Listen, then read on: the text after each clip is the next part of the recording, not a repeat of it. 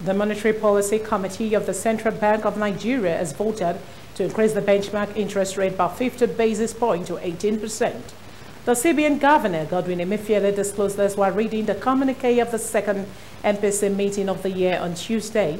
Addressing journalists at the end of the two-day meeting in Abuja, Mr. Emefiele said the committee voted to keep the asymmetric corridor at plus 100 and minus 500 basis points around the MPR. Analysts in the country had predicted the Central Bank of Nigeria and the MPC may not raise the lending rate at the end of the Monetary Policy Committee. However, the governor stated a slight increase is to mitigate the effect of inflation and other economic issues.